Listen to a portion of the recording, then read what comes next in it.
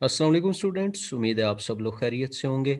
आज का हमारा टॉपिक है थर्मल एक्सपेंशन इससे लास्ट टॉपिक में हमने एवेपोरेशन स्टडी किया था और एवेपोरेशन के फैक्टर्स क्या हैं, उनको स्टडी किया था कि कौन कौन फैक्टर्स के ऊपर एवेपोरेशन डिपेंड करती है। तो आज का जो हमारा टॉपिक है, वो है थर्मल एक्सपेंशन थर्मल का मतलब हम पहले थर्म बोलते हैं हीट को। एक्सपेंशन एक्सपेंड करना, फैल जाना। तो थर्मल एक्सपेंशन का मतलब क्या है कि हीट की वजह से चीज़ों का एक्सपेंड करना या चीज़ों के साइज़ के अंदर चेंज आने को हम जो का जो प्रोसेस है हीट की वजह से जो प्रोसेस है या टेम्परेचर चेंज की वजह से जो ऑब्जेक्ट्स की लेंथ में कॉन्ट्रैक्शन होती है या उनका साइज़ चेंज हो जाता है, उसको हम क्या बोलते हैं? थर्मल एक्सपेंशन नॉर्मली हम इसको स्टडी करते हैं हीट की वजह से। जब हीट प्रोवाइड की जाती है तो किसी भी ऑब्जेक्ट का, किसी भी चीज़ का क्या बिहेवियर होता है, उसको नॉर्मली इसके अंदर देखा जाता है। लेकिन कॉन्ट्रैक्ट भी होती हैं चीज़ें, जब टेम्परेचर डाउन हो रहा होता है कूलिंग हो रही होती है तो कूलिंग के प्रोसेस के अंदर क्या होता है कि जो मेटल्स हैं या इस तरह के जो ऑब्जेक्ट्स हैं, वो क्या हो जाते हैं? कॉन्ट्रैक्ट कॉन्ट्रैक्ट का मतलब है सुकड़ जाना, उनका साइज़ कम हो जाता है। तो थर्मल एक्सपेंशन बेसिकली क्या है कि जब किसी भी ऑब्जेक्ट का टेम्परेचर चेंज आए तो उसकी लेंथ में, उसके साइज़ के अंदर कुछ ना कुछ चेंज आए, उस टेम्परेचर के इफ़ेक्ट की वजह से तो वो क्या कहलाता है? थर्मल एक्सपेंशन कहलाता है। ये होता क्यों है? इसका जो सेकंड पैराग्राफ है, यहाँ से इसकी रीज़न आगे स्टार्ट है। ये आगे करके। The kinetic energy of molecules of an object depends on its temperature जितने भी मॉलिक्यूल्स हैं, उनकी काइनेटिक एनर्जी डिपेंड कर रही होती है टेम्परेचर के ऊपर। इससे पहले हम स्टडी कर चुके हैं कि जैसे जैसे टेम्परेचर इंक्रीज होता जाता है वैसे वैसे मॉलिक्यूल्स के अंदर उनकी एनर्जी जो मूविंग एनर्जी है या काइनेटिक एनर्जी है मोशन की जो एनर्जी है, वो बहुत ज़्यादा हो जाती है, जिसकी वजह से उनका जो एम्पलीट्यूड है, वो बढ़ना शुरू हो जाता है एट हाई टेम्परेचर और लोअर टेम्परेचर के ऊपर क्या होता है? कम हो जाता है। तो जैसे जैसे चीज़ें हीट अप होती जाती हैं thus on heating amplitude of vibrating atoms or molecules of an object increase अब होता क्या है कि यही चीज़ें यही मॉलिक्यूल्स जब उनका टेम्परेचर इंक्रीज होता है तो वो मॉलिक्यूल्स क्या करते हैं वो एक दूसरे के ऊपर फोर्स लगाते हैं एक दूसरे को पुश करते हैं एक दूसरे के साथ हिट होते हैं तो उनके मॉलिक्यूल्स के दरमियान डिस्टेंस बढ़ना शुरू हो जाता है तो वो एम्पलीट्यूड उनका इंक्रीज हो जाता है Thermal expansion result increase in length, breadth and the thickness of a substance.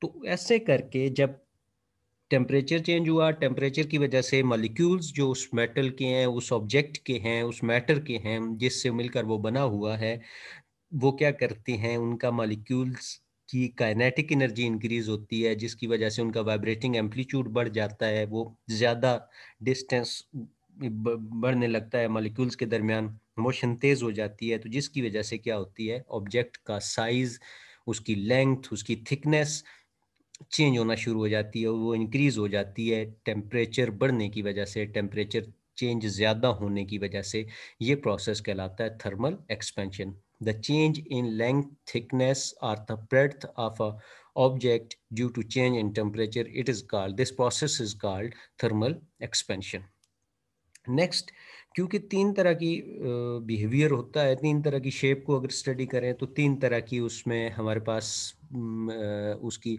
Dimensions आती हैं जिनको हम स्टडी करते हैं। एक उसकी लेंथ होती है, दूसरी उसकी विड्थ होती है और तीसरी उसकी हाइट होती है। मतलब अगर हम उसको लीनियर देखें मतलब एक सिंगल कोई ऑब्जेक्ट है लाइन एक लेंथ के अलांग उसमें चेंज आ रहा है, दूसरा उसका एरिया वाइज चेंज आ रहा है, तीसरा उसमें तीनों चीज़ें, थिकनेस भी चेंज हो रही है, लेंथ भी चेंज हो रही है, हाइट भी चेंज हो रही है तो इसका मतलब है कि उसका वॉल्यूम चेंज हो रहा है। तो थर्मल एक्सपेंशन में तीन तरह की एक्सपेंशन हम स्टडी करते हैं, एक लीनियर थर्मल एक्सपेंशन, दूसरी एरियल थर्मल एक्सपेंशन और तीसरी वॉल्यूम थर्मल एक्सपेंशन। तो फ़र्स्ट हम स्टडी करते हैं linear thermal expansion. Linear thermal expansion क्या है कि हमारे पास कोई भी ऑब्जेक्ट है, कोई एक हमारे पास रॉड है, कोई हमारे पास एक मेटल की बनी हुई कुछ स्टिक है। वो उसकी जो लेंथ है ओरिजिनल लेंथ जो जिसको टेम्परेचर अभी नहीं मिला, जिसका टेम्परेचर चेंज नहीं हुआ सिंपल उसकी लेंथ आपने उठाई है, उसको अभी हीट आपने करना नहीं स्टार्ट किया तो उसकी जो लेंथ है, वो आपने नोट कर ली कि इसकी लेंथ है L not L not mean L और नीचे ज़ीरो ये यहाँ पे इस तरह आपने उसको मेंशन कर लिया, ये हाईलाइट कर दिया। कोई भी जो टेम्परेचर है, जिसके ऊपर आप उसे देख रहे हो, उस टाइम के ऊपर जो टेम्परेचर रूम टेम्परेचर है जो कोई भी है, उस टेम्परेचर को आपने मेंशन किया टी नॉट से। नो आपने क्या किया? अब आपने चूल्हा ऑन किया, आपने हीटर ऑन किया, या किसी ऐसी जगह पे ले गए, जहाँ पे टेम्परेचर अब ज़्यादा है। आपने उसको, उस रॉड को, उस हीट के पास लेकर गए हीट चेंज होना शुरू हो गई। पहले उसका टेम्परेचर कम था, अब हीट डायरेक्टली उसे मिलना शुरू हुई। टेम्परेचर उसका चेंज हो रहा है, बढ़ रहा है। टेम्परेचर जैसे जैसे बढ़ रहा है, अब उसके मालिक्यूल्स की काइनेटिक एनर्जी बढ़ना शुरू हो गई है। नाउ उसकी जो लेंथ है, वो एल नॉट जो पहले लेंथ थी, उससे बढ़कर, उसकी लेंथ में जो चेंज आया, वो लेंथ बढ़कर कितनी हो गई? एल हो गई। मतलब पहले लेंथ उसकी एल नॉट थी, अब उस थोड़ा बहुत जो उसके अंदर इंक्रीज आया टू सेंटीमीटर थ्री सेंटीमीटर तो उसकी लेंथ बढ़कर उससे टू सेंटीमीटर ऐड होकर लेंथ उसकी ज़्यादा हो गई।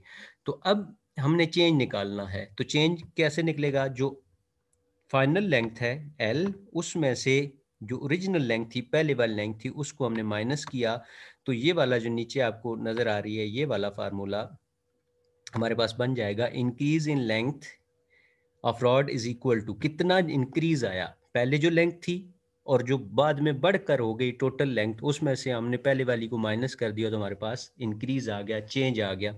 Change in length del L is equal to L minus L not no हम इन चेक करेंगे कैलकुलेट करेंगे टेम्परेचर का चेंज कि टेम्परेचर कितना? लेट्स सपोज़ पहले टेम्परेचर था 23 अब टेम्परेचर चेंज हुआ तो टेम्परेचर 35 हो गया। 23 में कितना ऐड हुआ कि 35 पे जाके पहुँचा? वो 12 ऐड हुआ। तो वो कैसे कैलकुलेट करेंगे? जो फाइनल टेम्परेचर है 35 उसमें से 23 को माइनस करेंगे तो हमारे पास चेंज इन टेम्परेचर आ जाएगा जो टेम्परेचर बड़ा है। जो पहले था वो निकाल देंगे, जो फाइनल है उसमें से पहले वाला निकाल देंगे तो हमारे पास वो टेम्परेचर आ जाएगा जो इंक्रीज हुआ है, जो बढ़ के होगा।